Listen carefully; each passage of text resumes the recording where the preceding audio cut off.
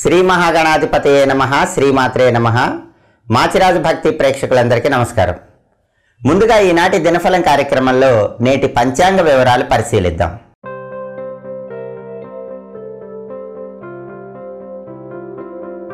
జనవరి ఐదు మంగళవారం దినఫలాన్ని పరిశీలిస్తే సప్తమి తిథి ఉంది ఉత్తరా నక్షత్రం ఉంది. మంగళవారం ఉత్తరా నక్షత్రంతో కలిసి వస్తే ధాత్రి యోగం ఉంటుంది. ఈ ధాత్రి యోగం అనేది కార్యసిద్ధిని కలిగింపజేస్తుంది. కాబట్టి పన్నెండు రాసుల వాళ్ళు అనుకున్న పనులు అనుకున్నట్లు పూర్తి చేసుకోవడానికి ఈ ధాత్రి యోగం అనేది విశేషంగా పనిచేస్తుంది. అలాగే రాశి చక్రం చాట్లో గ్రహాల స్టేటస్ తీసుకుంటే మంగళవారానికి అధిపతి అయిన కుజుడు మాందీ గ్రహము అనే పాపగ్రహంతో కలిసి మేషరాశిలో ఉన్నాడు. అలాగే ఉత్తరా నక్షత్రానికి అధిపతి అయినటువంటి రవి శుక్రునితో కలిసి ధనుస్సు రాశిలో ఉన్నాడు. అంటే రాశి చక్రం చాట్లో గ్రహాల స్టేటస్ ఫిఫ్టీ పర్సెంట్ ఫేవరబుల్గా ఉందని చెప్పుకోవాలి. ఈ గ్రహాల స్టేటస్ బట్టి భూములు గృహాలు కొనుగోలు అమ్మకాలు వీటికి సంబంధించిన నిర్ణయాలు తీసుకోవటానికి అనుకూలమైన రోజుగా చెప్పుకోవచ్చు. ప్రమోషన్ల గురించి ఇంక్రిమెంట్ల గురించి బాస్తో మాట్లాడాలంటే కొద్దిగా జాగ్రత్తగా ఆలోచించి మాట్లాడాలి. ఆలోచించి మాట్లాడటం ద్వారా ప్రమోషన్ ఇంక్రిమెంట్ పొందటానికి ఈరోజు రాశిచక్రం చాట్లో గ్రహాల స్టేటస్ ఫేవరబుల్గా ఉంది. అలాగే మంగళవారం కాబట్టి గ్రూప్ యాక్టివిటీస్ ఏవి చేయకూడదు. అందరూ గుంపులుగా మాత్రం ఏ పని చేయకూడదు. అలాగే సప్తమి తిథి ఉంది. సప్తమి తిథి అనేది చాలా గొప్పది. కాబట్టి అన్నప్రాసన నామకరణం సీమంతం చెవులు గుట్టించడం ఇలాంటి కార్యక్రమాలు చేసుకోవచ్చు. అక్షరాభ్యాసం చేసుకోవచ్చు. అయితే ఈ కార్యక్రమాలన్నీ కూడా మంగళవారం ఉంది కాబట్టి తక్కువ మంది సభ్యులతో నిర్వహించుకోవడం ద్వారా ఉత్తమ ఫలితాలు కలుగుతాయి.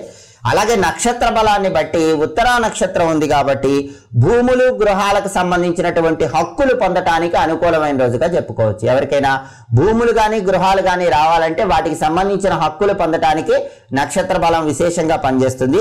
ముఖ్యమైన ప్రయాణాలు జాగ్రత్తగా చేయటానికి అనుకూలం. ప్రయాణాలు చేయొచ్చు కానీ మంగళవారం కాబట్టి కొద్దిగా ప్రమాదాలు జరిగే అవకాశం ఉంది కాబట్టి వెల్లుల్లి రెబ్బ దగ్గర పెట్టుకొని ముఖ్యమైన ప్రయాణాలు చేస్తే ప్రయాణాల వల్ల లాభం పొందటానికి ఉత్తరా నక్షత్ర బలం పనిచేస్తుంది.